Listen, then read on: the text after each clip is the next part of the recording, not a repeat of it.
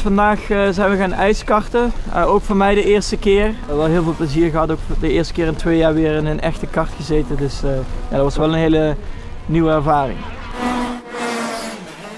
Ik heb heel veel mooie momenten in een kart gehad, maar dit was zeker een van de betere dagen.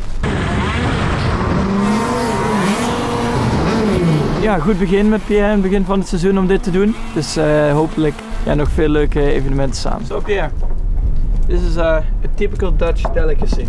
Let's go, Max.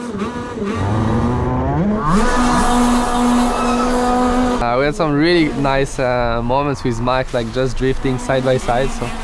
Nieuw begin met, met Honda, iedereen is zeer gemotiveerd en we kijken er allemaal natuurlijk ontzettend naar uit uh, wat het seizoen gaat brengen.